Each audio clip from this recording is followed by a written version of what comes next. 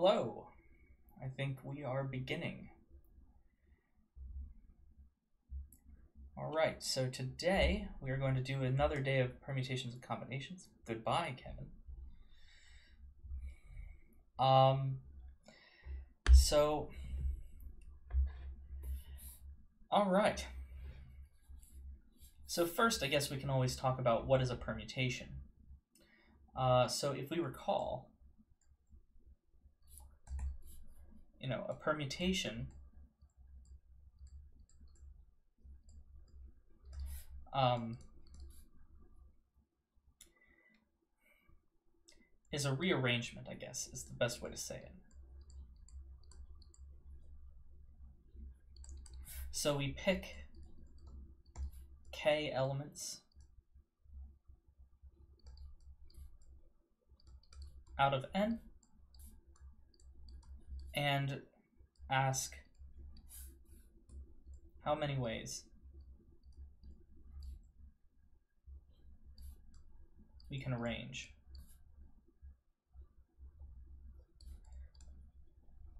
them so that order matters.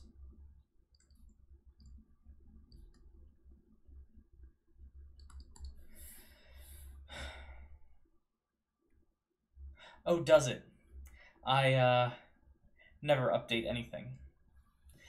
Um, so, so that's what a permutation is. And so, for instance, if you want, yeah, it's actually Firefox, but whatever.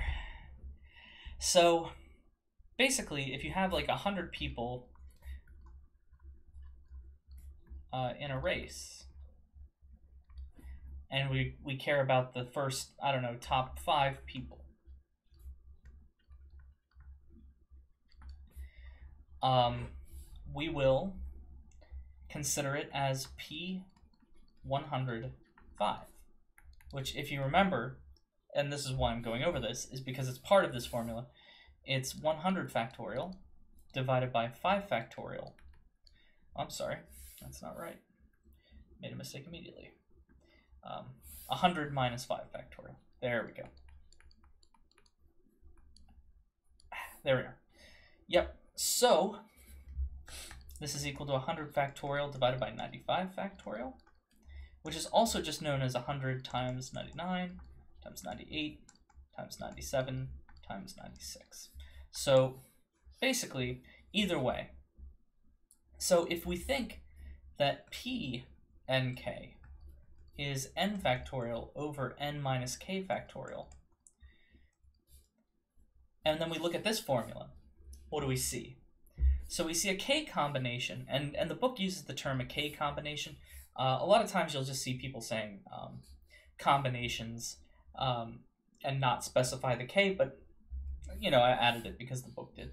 So is a selection out of a set S where S has n elements. So we're going to pick k out of n. So basically that means if I give you a bag of, of candy and I say pick 10 things, um, then that would be, uh, you know, however many things in the bag. Say there's 25 things in the bag and you pick 10. So that's what, um, that's what this symbol means. So a combination is selection um, out of a set. So really uh, a combination is actually, you can always think of it as a subset.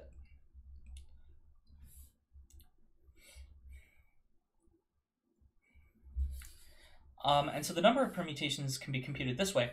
And so the way that uh, I generally think about this formula is that it's essentially the permutation formula, except the permutation formula asks how many ways can we pick k elements out of n elements and arrange them. And what this extra k factorial does here is it divides out by essentially a pkk. How many ways can we arrange k things if we pick all k of them? The answer is k factorial. So basically what we're doing is we're doing a permutation, except now we're dividing by the number of possible orderings of the set that we care about. And because of that, uh, now we don't have any, we don't really care about the order of either our selection or the things that we didn't select. All we care about is whether something ended up in our group or something didn't end in, up in our group. So that's really the question: is uh, did something end up as X inside A, which is our combination, or as X not an A, right? So there's only really two possibilities for that. So that's why, um, well, we'll see in the next slide. So, okay, cool. Um, yeah, so that, that's the definition combination. And, and the thing to remember is that uh, permutation and combination definitely sound alike. What you have to remember about permutation is that order matters. And with combinations, order um, does not matter, is irrelevant.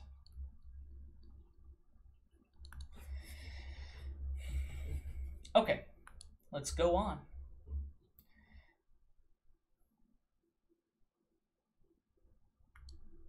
So here's our first little example of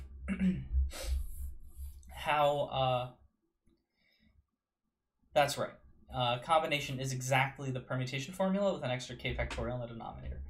Uh, in the book, this is in chapter uh, 9.3 and 9.4 on permutations uh, and combinations. Yep, it is chapter 9. Okay. So, uh, yeah, okay, right. So, how many 16 bit strings uh, contain exactly seven ones? Um, from my experience, Kevin, no one reads textbooks, but maybe I'm wrong. At least back when I taught calculus, no one ever confessed to reading the book. So, all right, so what is, you know, what is a 16 bit string?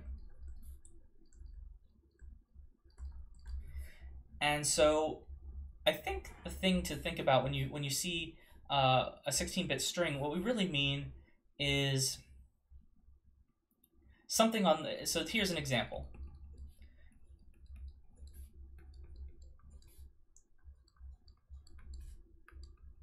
Whoops, one, zero, zero, zero. Okay, cool. And so I usually write binary in these little uh, four blocks, so four bits. Um, there's actually a name for them. It's uh, 4 bits per nibble. And so two nibbles makes a byte. And here's the second byte. And in 16-bit parlance, um, yeah, a nibble is 4 bits. And a bit is either 0 or 1. So a bit is equal to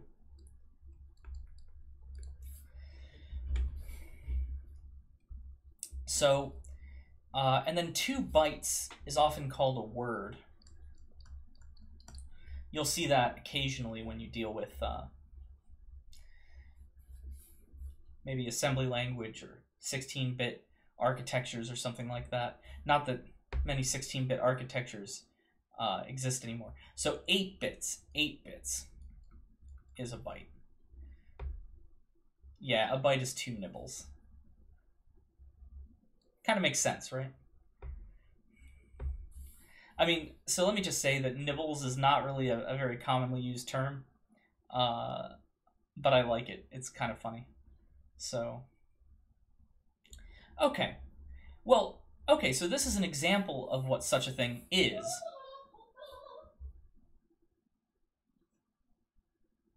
Okay. So, um, all right, so what, what we want to do is compute how many of them are there.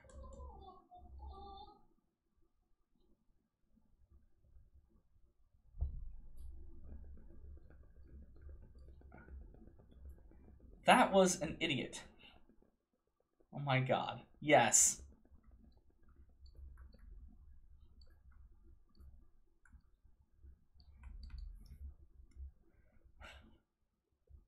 That is not a bird.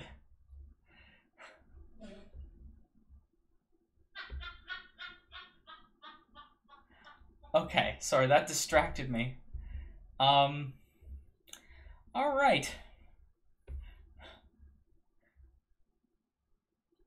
Jesus. Okay. All right, but how many of them are there? So first, we want to compute two things.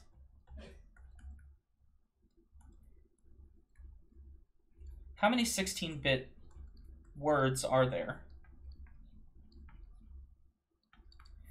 And so the first answer to that is, yeah, you just have to ignore all the nonsense that goes on in the background. Um, so the first thing we want to compute is how many 16-bit words are there in total. And so the answer to that is each thing, right, each bit has two options. And there are overall 16 of them.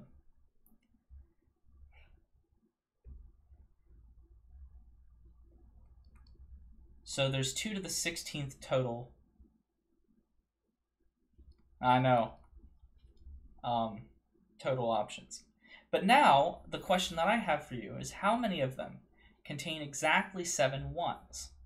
And so the answer is going to be a combination. And so the question is, um, why uh, why we need a combination for this. And the answer is basically this. If we number these bits, if we say that this is bit 0, bit 1, 2, 3, 4, 5, 6, 7, 8, 9, 10, 11, 12, 13, 14, and 15, and we want exactly seven ones, then what that means is that we need to pick 7 out of 16. That's right. And so what's the definition of picking seven, uh, seven things out of 16 things? The definition is 16 choose 7, right? The combinatorial term. So basically this is the answer.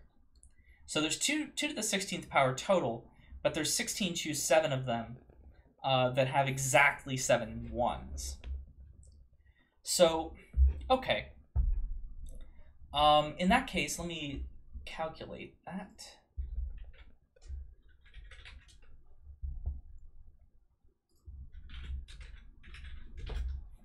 Sixteen choose seven is ah yes.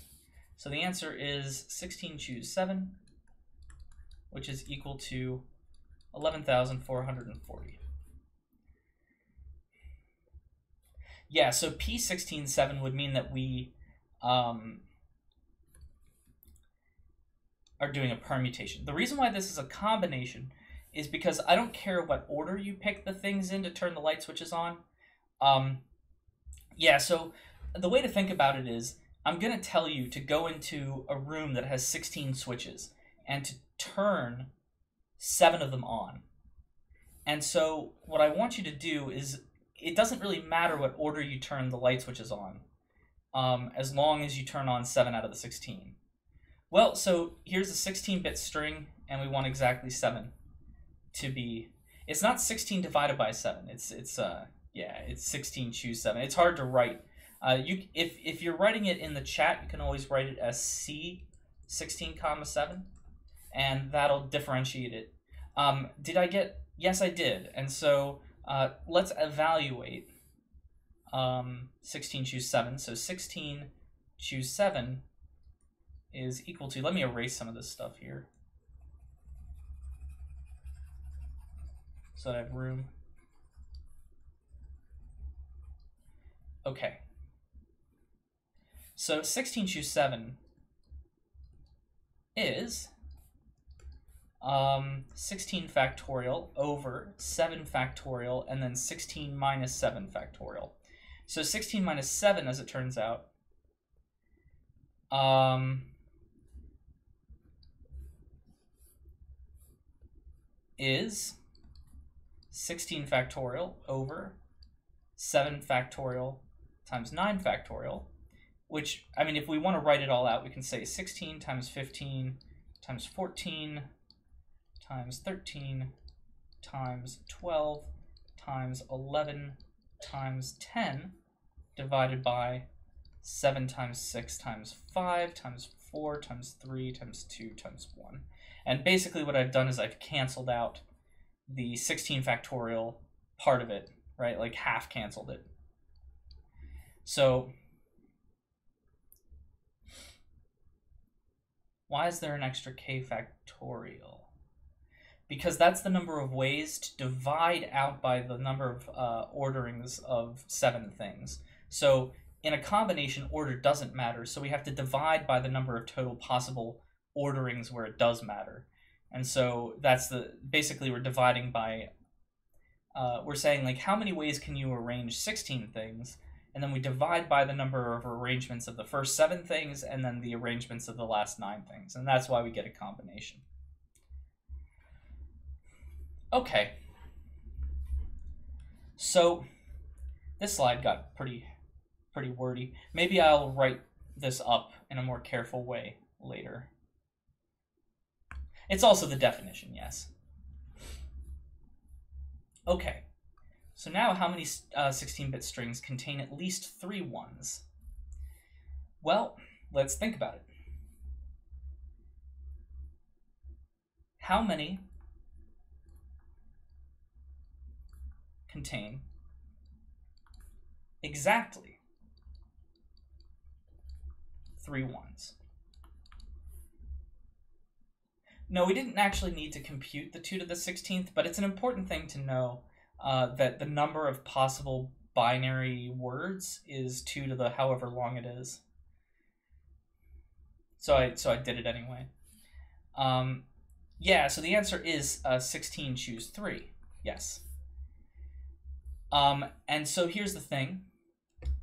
Um, now, what does at least 3 mean, right? At least 3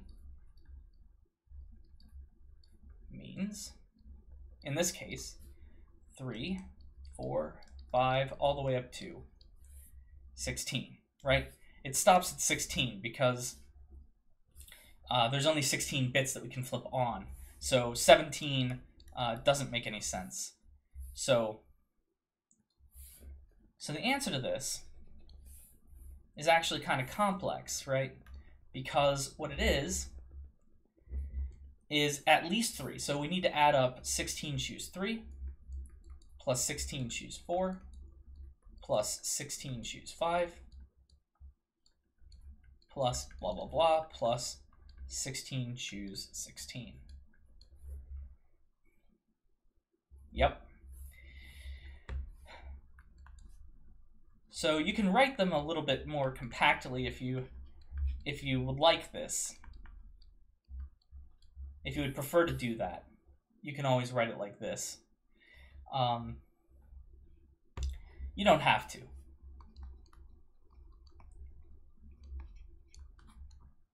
But it's always nice. Um, yeah, you can do summations if you want. So, the difficulty with the summation is that it's actually, uh, right now, you can't actually compute what the value of this thing is um, at least not without just evaluating all the terms and adding them.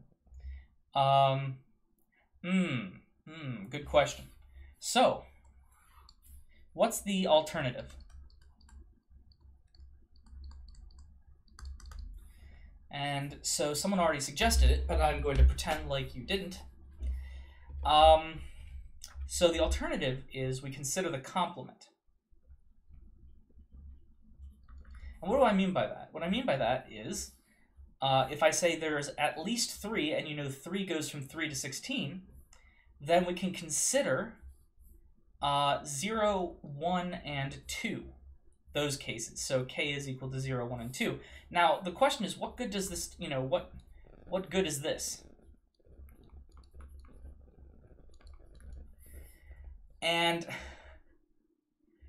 so Ah, thank you. Um, so the point is, if we add up 16 choose 0 plus 16 choose 1 plus uh, 16 choose 2, what we're going to get is not the answer. Uh, almost. That's if we're doing probability. The real question is, and this is why perhaps I might have cared to do this, how many total um, options are there for 16 bit words? So, how many total?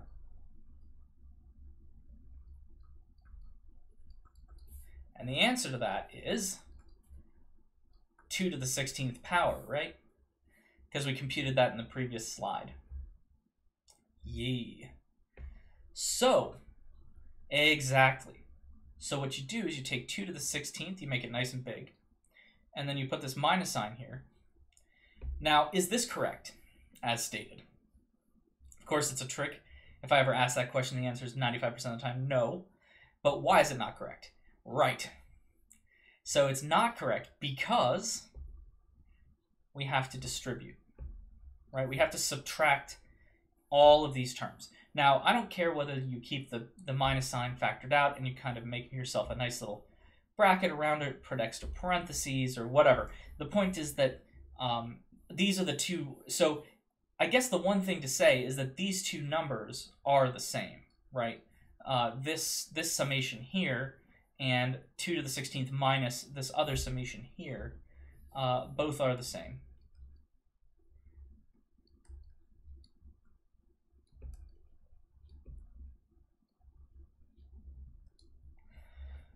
I guess I guess Beth is the same.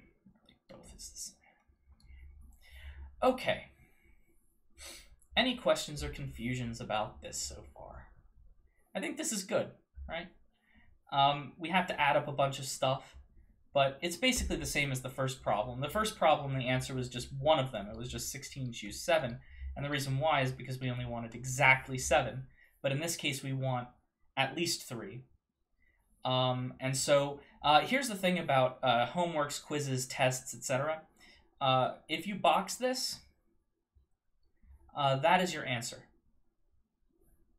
If you box this, well, maybe I'll, there we go.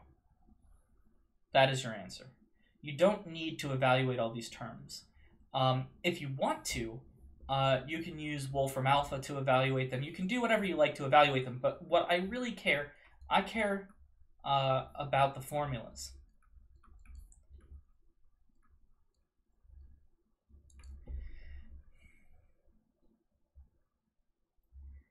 How it's all written out. Um,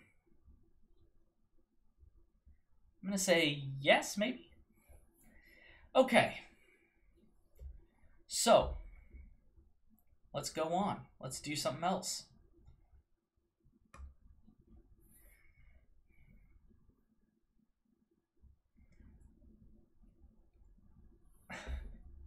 Well, Kevin, as I am the person who is conducting the stream, I imagine that I am the first person to see the chats. Um, if if there's replacement, if there's replacement, then it's neither a permutation nor a combination. It might be a permutation or combination with repetitions. Um, we'll talk about that more when we get to probability. Um, but yeah, so if it's so combinations and permutations assume that if if somebody is if we're doing a, a race for instance, uh, the reason why we don't have repetitions is because there's the person who finishes first doesn't then go back around and finish second and then third. Um, same thing. So okay. So how many of you have heard of poker? And by that I mean, how many of you have played at least one hand of poker in your lifetimes? Uh, it's a good question. Oh, KC, I'm impressed. Um, so, good. Okay. Um,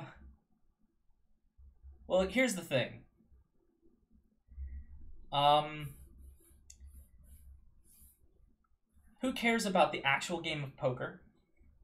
All I care about right now is to ask this question. I want to know how many hands there are. So we're we're going to play five card stud. So I know that Texas Hold'em was very popular uh, for a number of years, and everybody stopped playing five card stud.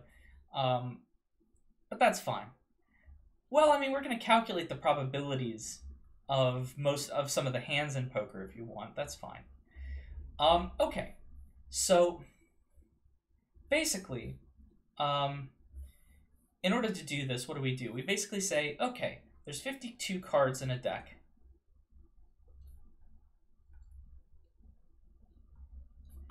And we pick without replacement.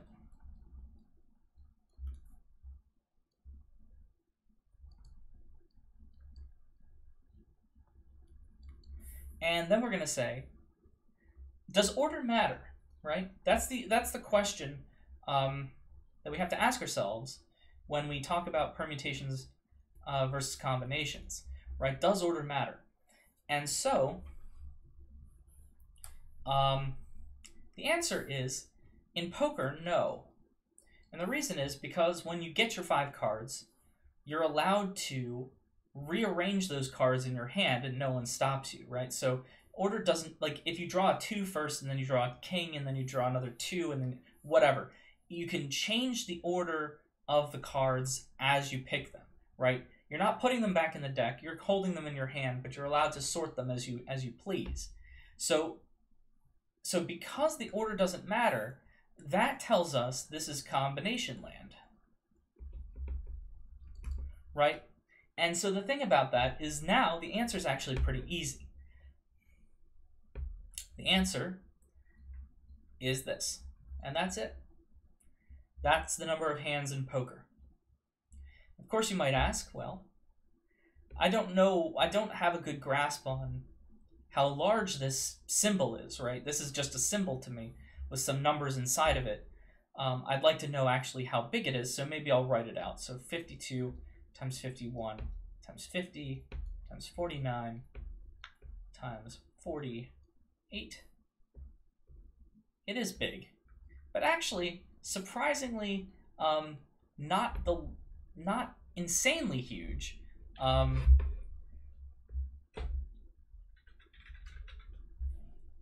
I just want to make sure I get it right. It is two million five hundred and ninety-eight thousand nine hundred and sixty. Uh, yeah. So, so if I ask you this on an exam, you box this as your answer. If I say, evaluate the symbol, then you have to do like this. Um, on an exam,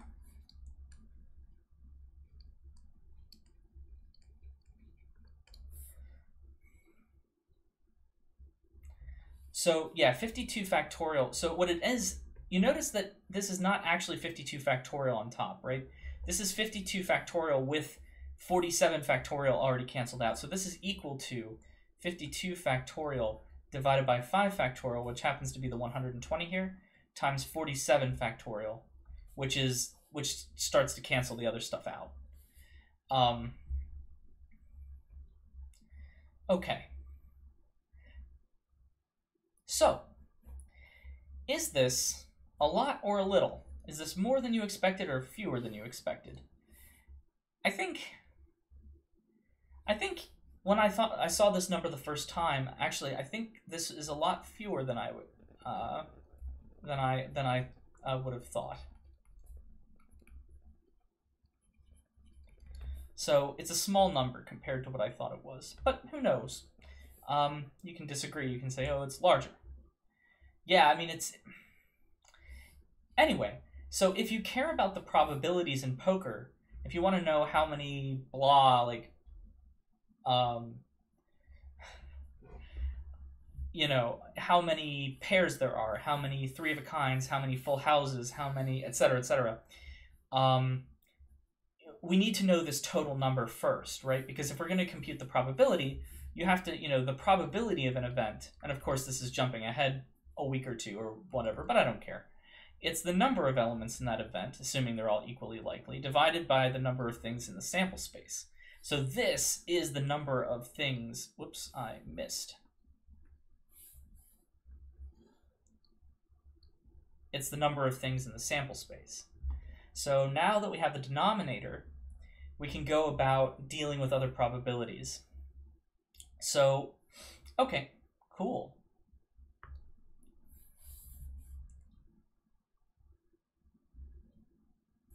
No, everything that we're doing today is combinations. You see how here uh, we have a 5 factorial and a 47 factorial. So that means combination.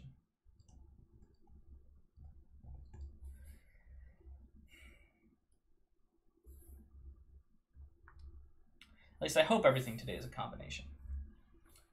except for the more fun stuff that I'm about to get to. Okay, so how many full houses are there, right? And so for those of you who don't know what po- you know much about poker, basically a full house, you know, you get your five cards. So you can get say a 3 and another 3 and then say a jack and a jack and a jack. So you need you have to have a 2 of a kind also known as a pair, I suppose. And a, yes, and a three of a kind, which for some reason is not known as a triplet. So, okay. So what are the kinds of choices? If I told you to go into a deck and pick out something of this form, where you have a pair and you have a three of a kind, then what are the choices you have to make? So what choices uh, do we have?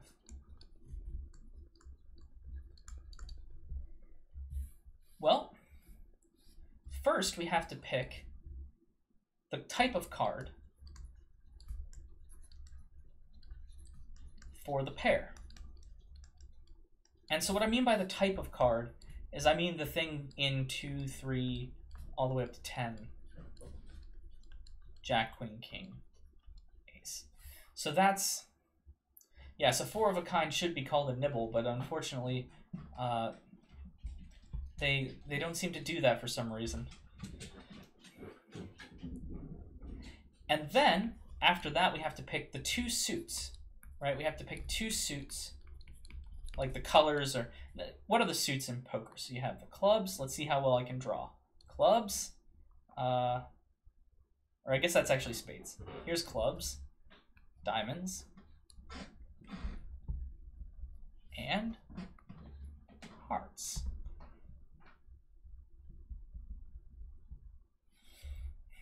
Yep.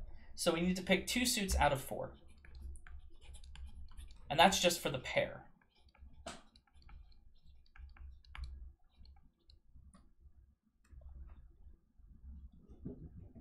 All right. And then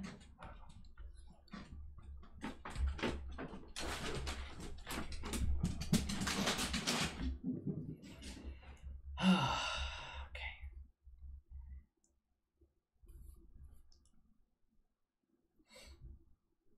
Well, so the good news about this is that I don't expect you to know that much about uh yeah, so the dog will make appearances. There have been demands in 201 for my dog to make appearances.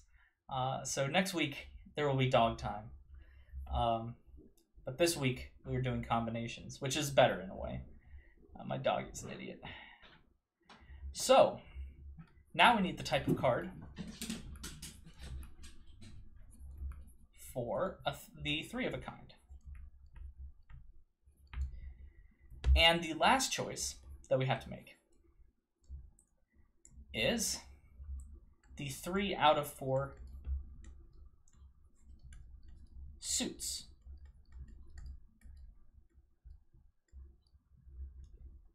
Of that um, three of a kind. Okay. All valid dogs are idiots. Yeah, that's a good that's a good point dogs are kind of tautological.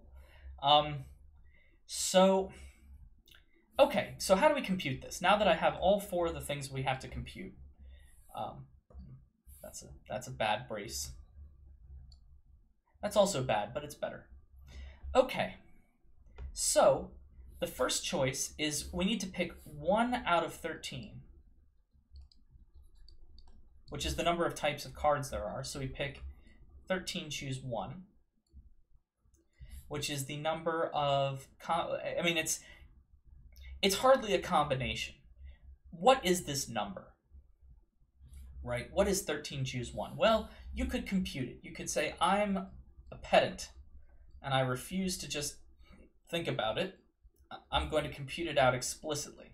So we get 13 factorial over 1 factorial 12 factorial, which means we get 13, fact, uh, 13 times 12 times 11 uh, times 10 all the way down to 1.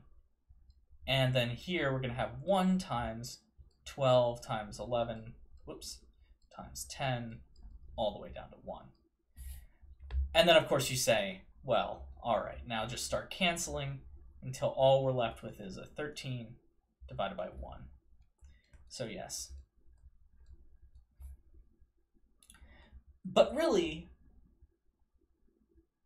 you got to eh, think about it combinatorially. And the, what I mean by that is think about it in the sense that if I say out of 13 things, how many ways can you choose one of them?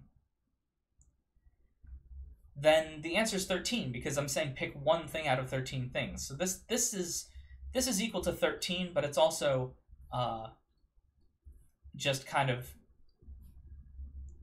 we should think about it in two ways. Okay, so now that's right. So there are 13 types of cards. If you count these up, um, 2 through 10, I guess gives you 9. And then Jack, Queen, King, Ace gives you an additional 4. So the size of this set is 13. Okay, and so now you need to pick two suits out of four. So out of four things, choose two things. That's pretty easy. Um, okay, now we have to pick the type of card for a three of a kind. And in that case, we've already picked one of the cards here, so we can't pick whatever type was picked here because there there's not five threes in a deck. So basically we have to pick something else. So if we're going to pick something else, there's only 12 options left. Pick one. And then finally we have to pick four, out of the four suits, we have to pick three. And here we are. That's it. So I'm picking cards. Yes, they're all multiplied together.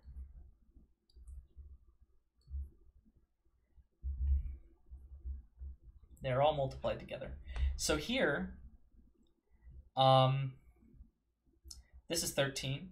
4 choose 2 happens to be 6. 12 choose 1 happens to be 12. 4 choose 3 happens to be 4. Why?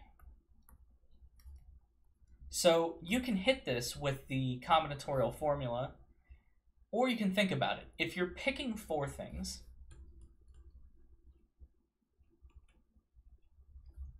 uh, if you pick four, I'm sorry, if you pick three things out of four things,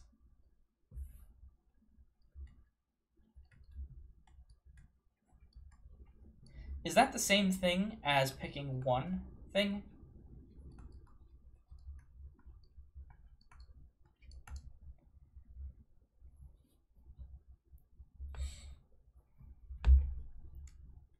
And the answer is yeah.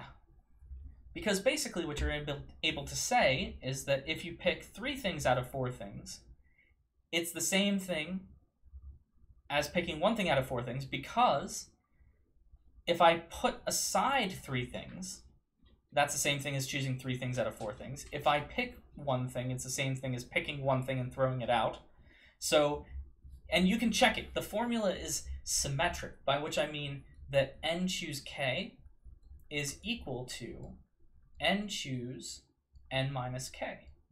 In fact, I think that's a good homework problem to prove that.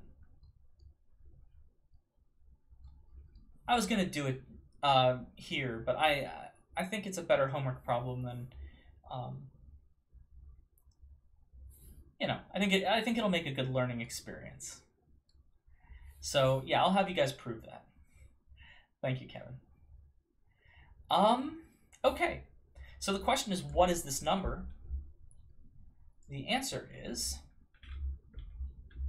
uh, times 12 times 6. So this number in total is uh, 3744.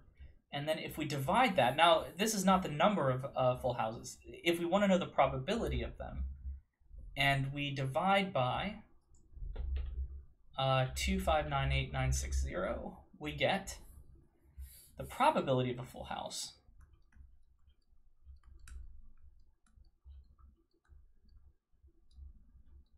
is equal to approximately uh, 0.00 one, four, four.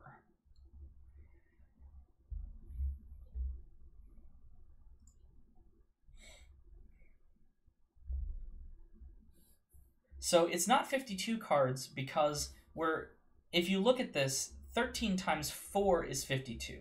And so what I'm doing is I'm splitting up the type of choice that I'm making.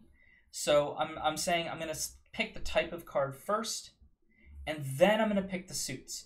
And when I divide the choice like that, first it's a it's a matter of picking one type of card out of 13.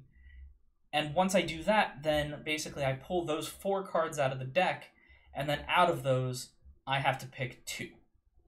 Or three in this case. Okay.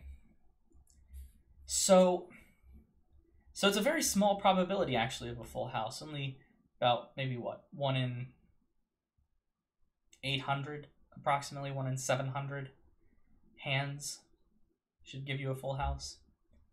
Everything's perfectly random.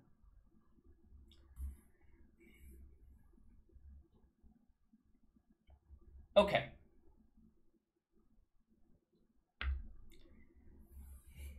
So this this is actually a hard question. Or this is harder, I should say.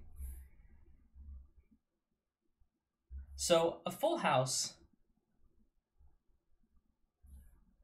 um a full house is actually easier to compute than pairs.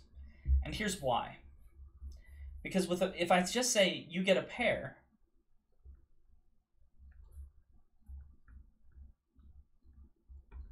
then what have I told you? I've told you that you have two cards that match.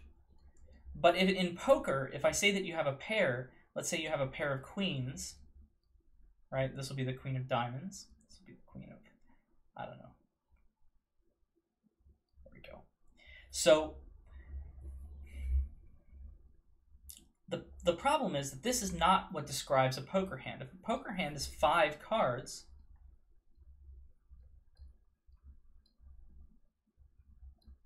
then the problem is that this only describes two of the cards.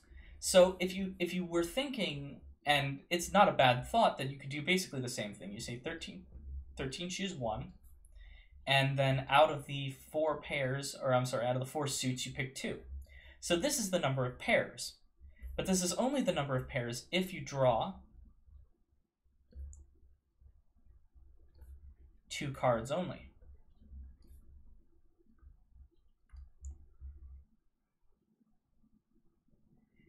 It's two of the same number, not two of the same suit. So you see here how the this, these are two queens. Uh, one is a diamond and one is a club or whatever. So the reason why it's difficult is you have to remember to choose the rest of the cards.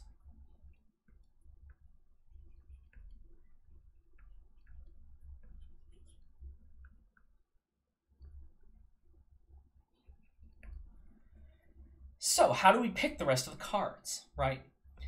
That's a good question. So,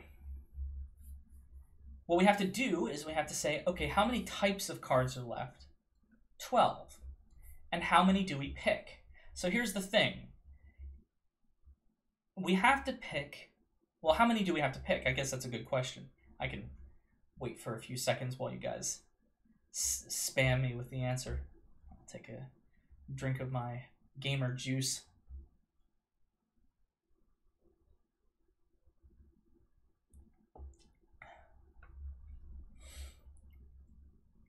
So you want five cards total. You've picked two of them already. oh man.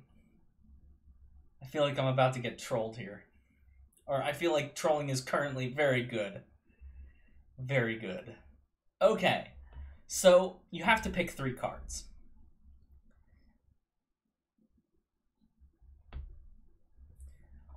Well, so if you only have two cards, then you're done. This is if you only have to pick two cards, then you're done.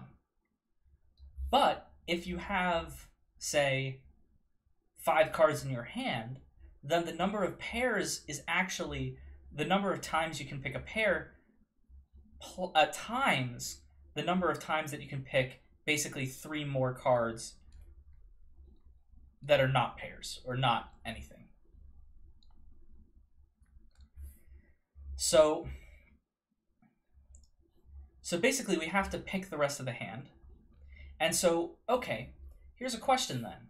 How many ways can we pick the suits? So we picked suits in the last pro so here we picked out of the four suits for this type we picked two. But now we're picking three separate cards, right? So for each card we have four choices. So we have a I mean if if you really want to, you can write a 4 choose 1. And I'm just going to write 4 choose 1 cubed. Well, if you get a two pairs of queens, then what is that called? If you get a two times two pairs, and it's the same type, then that would be a four of a kind, right? And then, of course, you need something else. So you can also get two pairs, but this we're assuming we're not getting two pairs. We can compute the probability of two pairs next, but this is not two pairs. This is specifically, yeah, okay, everything is now. I should not have told you guys that word. Um. Yes, this is specifically just one pair. Because technically, you could say, oh, well, a full house is a pair, right? Because a full house has a two of a kind and it has a three of a kind. So actually, um, you know, a two of a kind and a three of a kind is a pair, right? Except for the fact that that's also a full house, and so we don't want to consider it as just a pair. So here is how many pairs there are. So let's compute. Uh, let's compute the number. So 13 times 6 times. Okay, now we actually have to compute 12, choose 3. So 12 times 11 times 10 divided by 6 times uh, 64. Okay, so as it turns out, this number is 13. Uh, this number is 6. This number is 12 times 11 times 10. Come on. Divided by 6. This number here, 4 choose 1 is 4. Uh, the, the 4 pick 1 is raised to the third power because we have to pick three cards. And so each card gets its own suit, right? Each card has a suit. And we have to select each card's suit. So this was just a shorthand way of writing uh, 4 choose 1 times 4 choose 1 for the second card, right? This is the first card, this is the second card, this is the third card, and 4 choose 1. And so basically, uh, yeah, so single pairs, barring any other combinations. Um, yeah, so this discounts any other combinations. This discounts four of a kinds, full houses, all things other than just exactly one pair. Uh, are we calculating probability? Not yet. So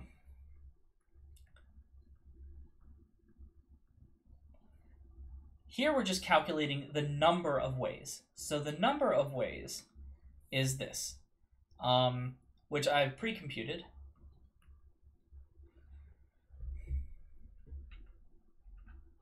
Which is 1,098,240. And so when I computed this last night, I was actually kind of surprised. Um, I I forgot that the probability of a pair was so high, right? Because we know that there's about 2.6 million hands, and this is approximately 1.1 million. So if we just do a quick estimation,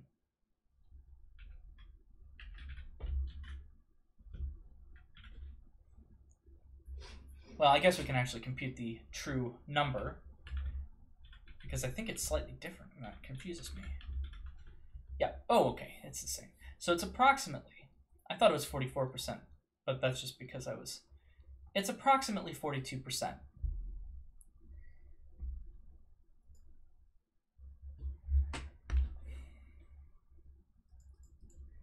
So there's 40, so what we should say is that there's 1,098,240 different hands, different five card hands,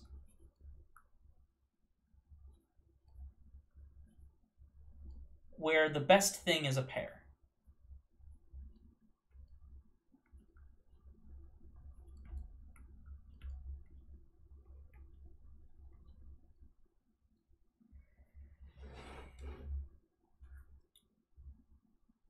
That's right.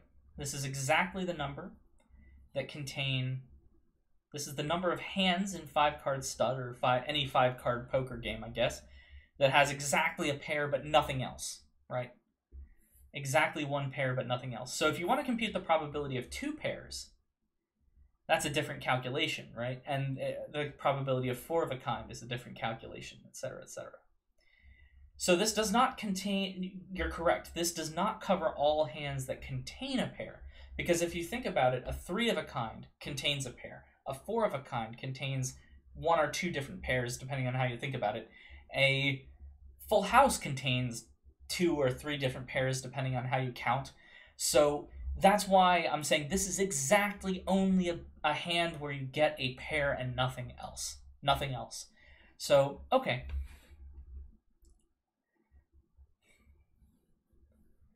All right. Cool. Wasn't that fun?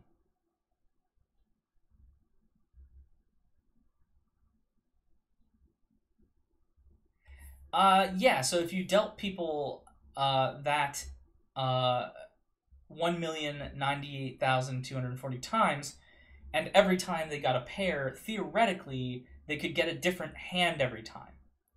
Um, yeah. Cool. So, all right.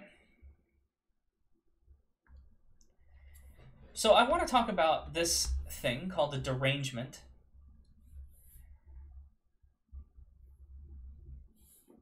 And the reason why I want to talk about derangements is because they're a lot of fun.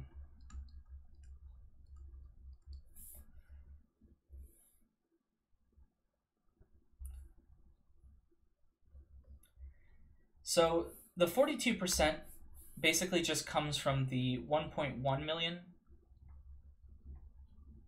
divided by 2.6 million, which is the total number of hands that we have. Yeah. Okay. So it's fun because it's a permutation where no one gets to go back to the seat where they came from. So in a, in a regular permutation, for instance, if I write all, all the permutations of 1, 2, 3 out, we got 1, 2, 3, 1, 3, 2, 2, 3, 1, 2, 1, 3, 3, 1, 2, and 3, 2, 1. Those are all the permutations of the elements 1, 2, 3. Well, those are not derangements, right? A derangement is a permutation where none of the elements go back into their original position. Exactly. It's musical chairs, except I think in musical chairs you're allowed to, if you end up right back where you started, I know they remove a chair, but you're allowed to sit back where you started. Here, no one can sit where they started. So uh, it would be an even better game of musical chairs because it's uh, it would cause absolute catastrophe. Um, okay, so let's look at the things that are not. So this is, let me, oh, you know what? There we go. This is not a derangement because everything is in the same spot. These two have flipped, but one is in its, its correct position, so that's not a derangement. Two is out of place, three is out of place, one is out of place. So this one is a derangement. Two, three, one. Two, one, three, on the other hand. Three Calc 2 is fun. Anyway. Um, and then finally, uh, 3, 2, 1. 2 is in its place. And so here, the only reason why I have to defend Calculus 2 is because I taught it for a number of years. So, you know, that's how it goes. Cool. All right. So we see that actually D3 is equal to 2. And so what that means is that um, the number of ways to take three people in three chairs and to move them around so no one sits in the same spot is two ways. So as it turns out, um, there, this formula does actually apply to 0. So D0, you always have to be a little bit concerned about zero cases because what does it mean to derange nothing? To not, um, you know, to not move around anything, but you start with nothing. And so the answer to that is we just apply this formula here. And we say, well, 0 factorial happens to be 1. And then we see that here's the 1 factorial for the n equals 1. This number here is actually for the n equals 0 case. And so because of that, this is just 0 factorial times 1, which is 1. And then, for instance, d1 is equal to 1 factorial times 1 minus 1. Now here's the reason why it's a little wonky. The number of derangements of, no, uh, of zero things is 1, but the number of derangements of one thing is 0, or 6, I guess. Let's do a better 0. There. But why is it 0? Well, if you think about it, you know, you have how are derangements used outside of theoretical math? Oh, good question. It's uh, I mean, basically the question is like any combinatorial question. We can just make it musical chairs and then uh, and then we have a, a practical application. But uh, I'm not gonna lie, uh, I'm not teaching them because they're practical. I'm teaching them because they are. So, um, yeah, so let's compute D2. So if you have like one dude sitting in one chair, and that dude cannot go back to his original chair, then that's why D1 has to be zero. There's no way to take Mr. Dude or Mrs. Dude and uh, and to throw them back into their original position. Uh, position. So, okay. Uh, and then here, if we apply the formula, you get 2 factorial times 1 minus 1 plus 1 half. So as it turns out, this is all just equal to 1 if you compute this. So how is there a way to arrange uh, zero dudes? The answer is we have, um, yeah, just move them to the left. Uh, this one is is kind of a philosophical uh, philosophical question, right? This is the notion of uh, when I ask you how many ways can you rearrange zero things such that nothing goes back in its original position? The answer is one way, and you ask me, what do I do? And the answer is do nothing. Right? So that's that's kind of how uh, but uh, again, it's it's if if if this bothers you, you can just take it as a definition.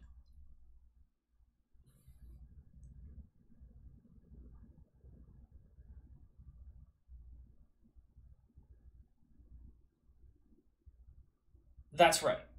You see how this n here has to stop wherever we stop. So this is dn for n is bigger than 3. If the equation is n is equal to 2, for instance, then you cut it off here. If it's n equals 3, you cut it off here. It's just how the, the formula is, is supposed to be interpreted.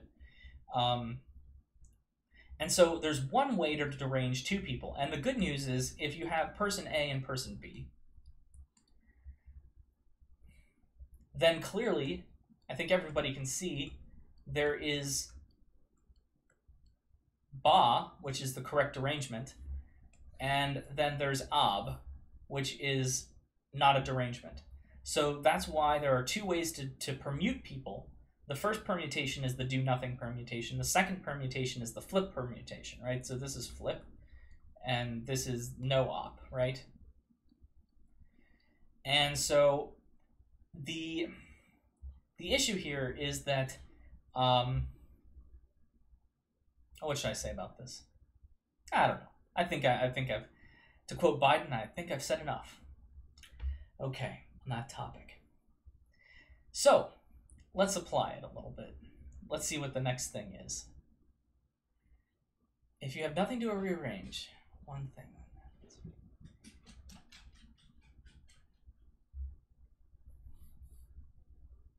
But if you did nothing to rearrange one thing, then that thing stays in its position, and that's not a derangement, right?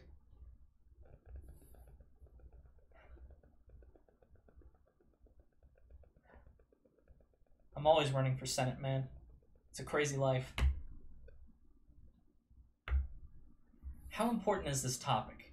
Well, given that uh, you've asked the question, I will make it extremely important and put 10 questions on the exam.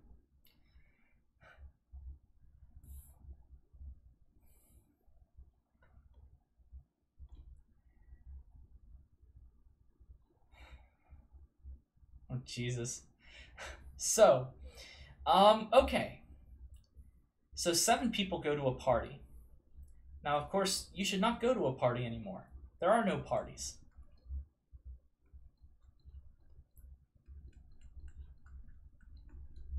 But back in the, oh my lord, but back in the time, uh, distance uh, past, when when parties existed, and you used to go to them, um, some people used to wear hats. You see, and so everybody checks their hat at the door, and we all get mega drunk. And so we stumble out of the party at the end, uh, completely unable to determine whether or not we've been given our own hat. So, how many ways can we just randomly give people's hats back? So, oh, that's true. I, I, I know that uh, from experience. UMBC students. Uh... Anyway, well, the good news is that you are now equal partiers to all good people. So, all right. So, what do we do here? We want to randomly give them back. So, the first question is um, what happens when we randomly give things back? So, basically, we're going to have, let's just write out the slots. So, we have seven slots and we have seven people. One, two, three, four, five, six, seven. And so, um, the point is, here's the first person. They come up and they ask, Give me a hat, right? And so they are given one of seven hats. So there's seven choices here. Well, how many choices do we have now, right? We only have six choices for the next hat. Five, four, three, two, and one. So what is this thing known as? What what have I just written out here? If I multiply all these together, what what formula is it that I've just written out?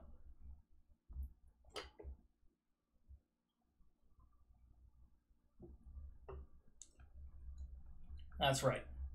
That is 7 factorial. You can also write it as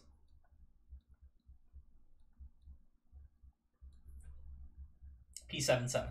So we would probably call this a permutation, right? Excellent.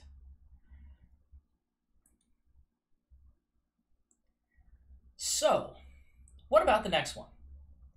So, the next one is a little weird, right? No person gets their hat back. And then you say to you say to yourself,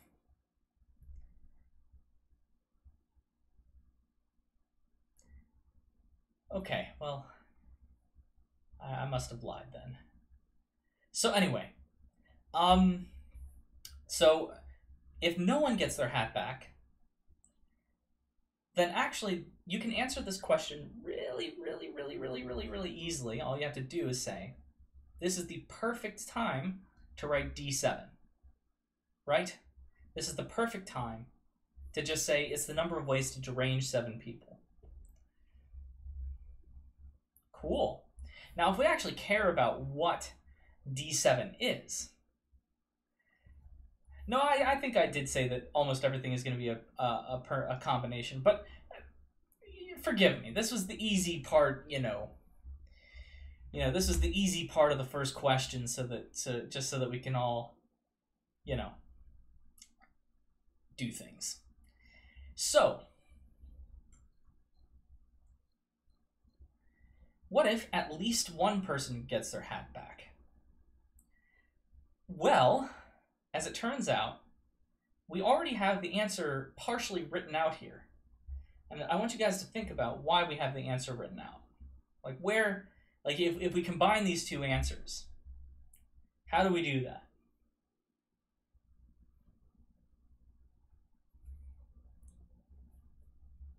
I've upgraded to ultra low latency, so hopefully there is less time between when I say something and when I get responses.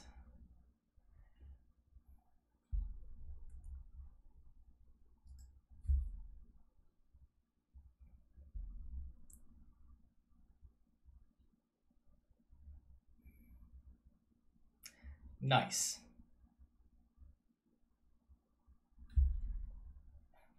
So I want at least one person to get their hat back.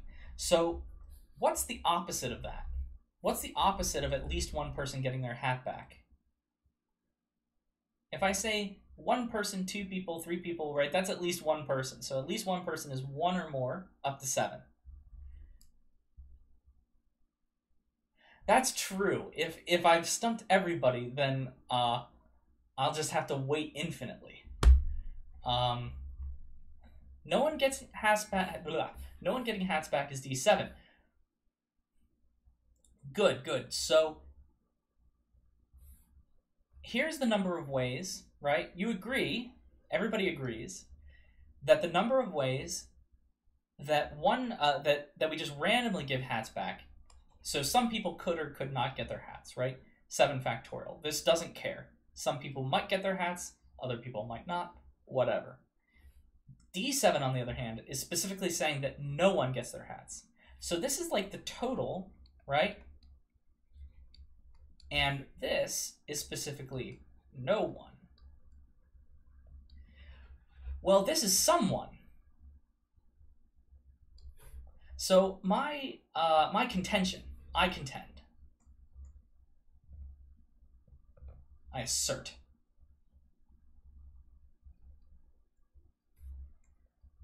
That, ah, there we go. Now we're starting to hit on it, right? That the opposite, so uh, someone complement is equal to no one. And so if I want to know the probability that at least one person gets their hat back, I already know the probability that no one does. And so it's really just the total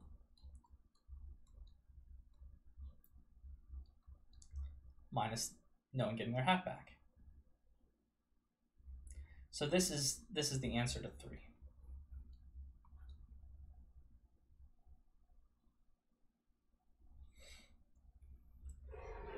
Okay. It's D7 because D7 is the number of ways to derange seven people so that, right? So this is all the ways, always, minus no one, right?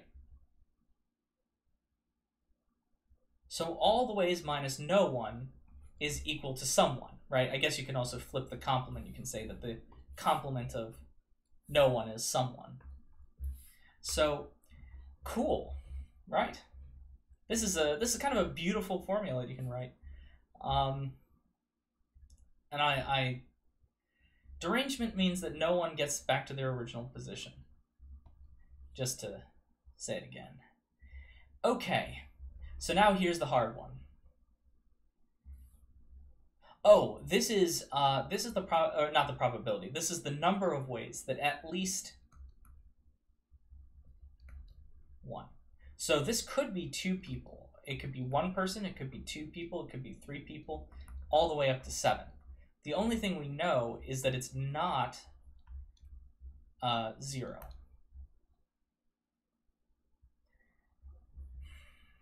At least two people get their hats back. So I think it's a little more complicated than that,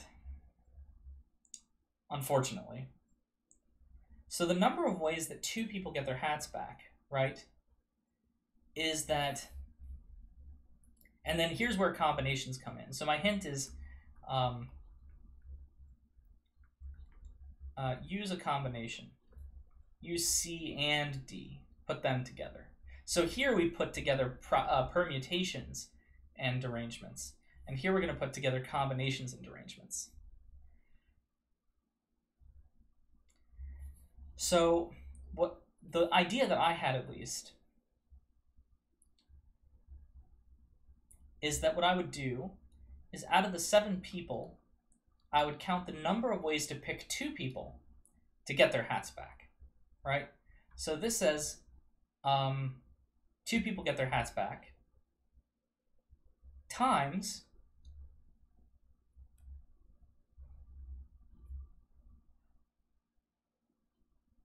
d5. So get rid of this at least and just say exactly for a second. So this is the answer to exactly, right? Because it's the number of ways that out of seven things we pick two things, those two things will get, or those two, I guess, people, will get their hats back. And then D5 means that those five people will not, right? So that's what this means.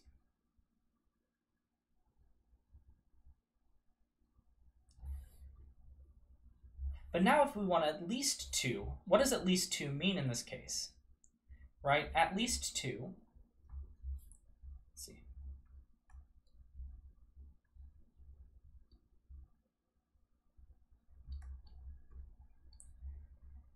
It means 2, 3, 4, five, six, and seven.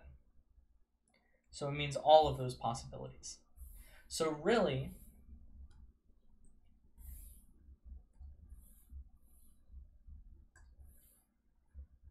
now we have to do all the rest of them. So now we say three people get their hats back times d4. Four people don't. Or four people get their hats back. And three don't.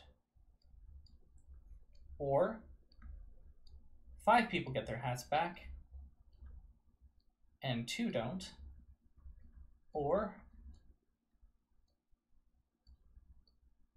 six people get their hats back and one doesn't.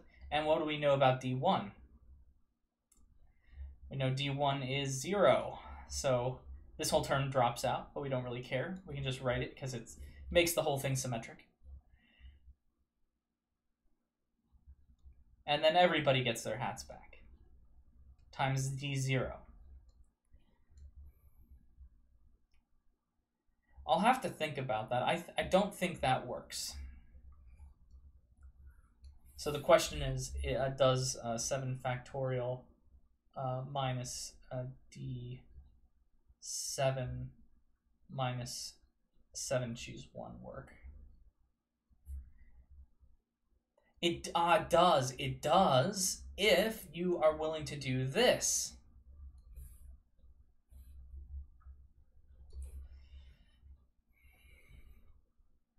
So I was about to say that you were full crap, but as it turns out, you were 80% right. And so, yeah, if you add a d6 to the end of your answer and you multiply that by the 7 choose 1, then actually that is the same thing. That gets you to the same place.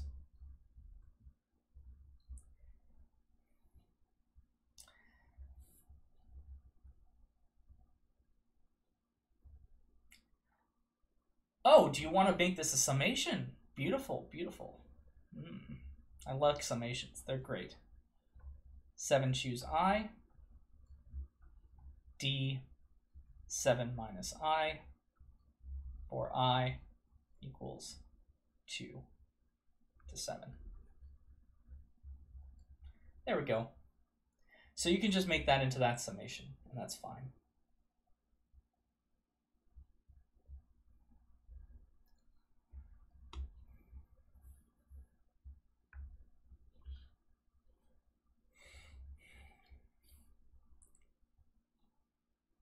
All right.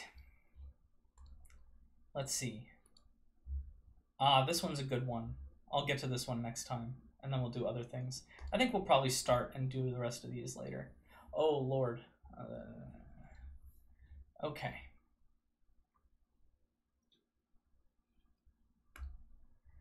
All right. So, in terms of uh, administrative things, what should I say? Let's just write here. Um, I still got to figure out how we're going to do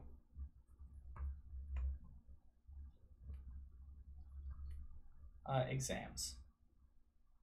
That's that's on me. Um,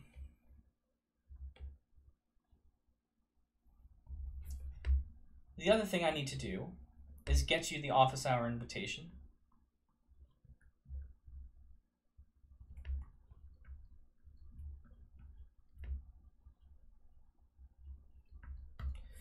And hopefully I'll send that out sometime tonight.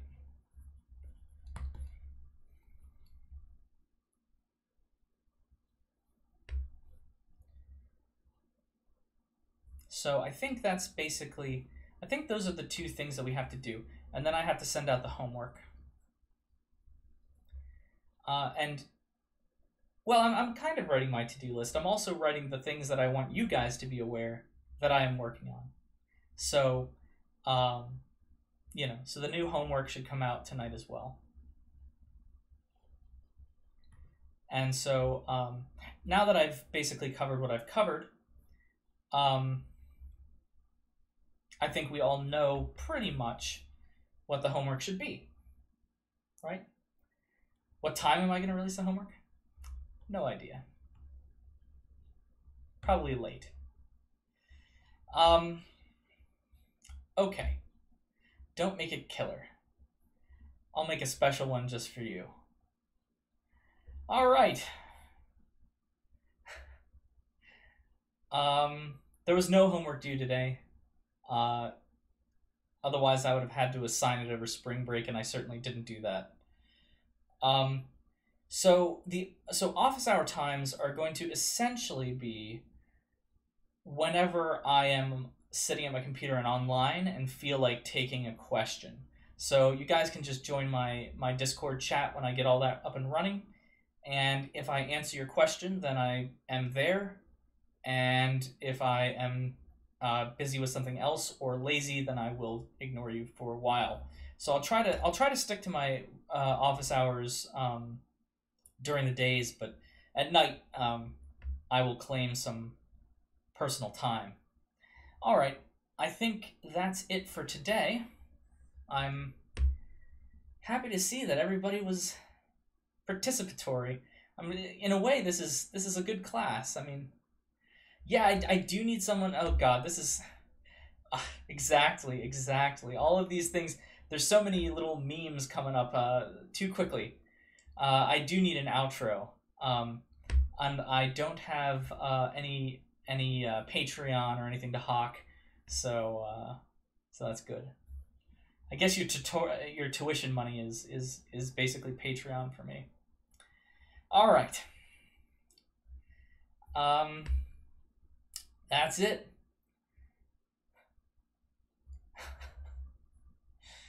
All right, people. Signing off.